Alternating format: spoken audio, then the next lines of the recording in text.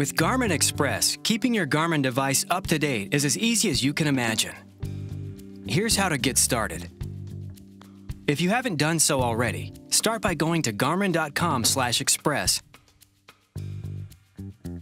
and download either the Mac or Windows version. You'll be guided through the installation process.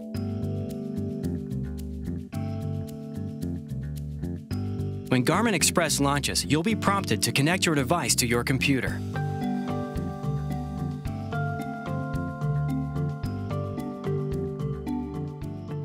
If you'd like, you may register your device quickly by providing your email address.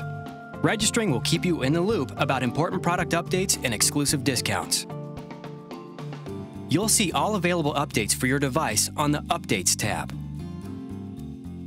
Install all of the updates in just one click or expand the details to learn more about each.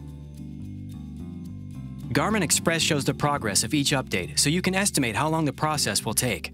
It'll even let you know when it's okay to walk away for a while. Because new maps often hold more road detail and points of interest than the maps they're replacing, they often take up more space.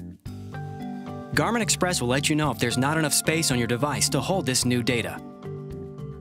If your device supports a SD or micro SD memory card, you may need to expand storage space on your device. You can find these cards at most major retail outlets. Garmin Express will detect when you have a card inserted and ask where you'd like the maps installed.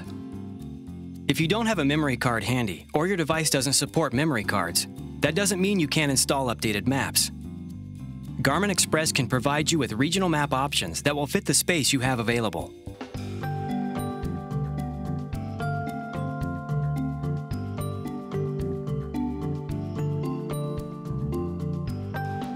Need more help with your device? No worries.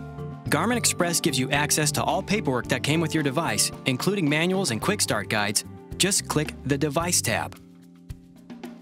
For more information about Garmin Express, including how to use it to back up your data, install new voices, and more, visit garmin.com/express.